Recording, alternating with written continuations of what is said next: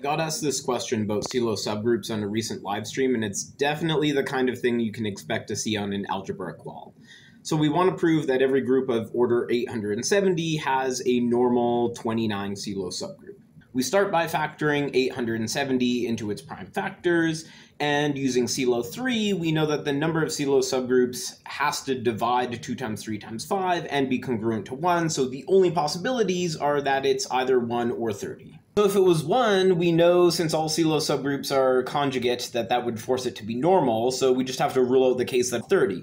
So let's assume that for the sake of obtaining a contradiction. So if that were the case, then each of those 30 Sylow subgroups would have 28 non-identity elements. And so in total, this would account for 840 elements of order 29, which means that there would be 30 elements not of order 29.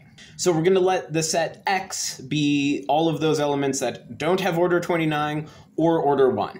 So that's going to have 29 elements. And we choose an element of order 29, which exists because we know that we have at least one of these Sylow subgroups, slash Cauchy's theorem. The cyclic group generated by that element of order 29 acts on the set X. Now, order is preserved by conjugation, and Cauchy's theorem also tells us that we have elements of order 2, 3, and 5. So there has to be at least three orbits. So decomposing the set of 29 elements into its fixed points and its non-trivial orbits, we could again assume for the sake of contradiction that there were no fixed points, in which case there's at least three non-trivial orbits. And by the orbit stabilizer theorem, the orders of each of those orbits have to be the indices of the stabilizer subgroups. But the stabilizer subgroups are subgroups of a simple group of order 29, so they've either got order 1 or 29.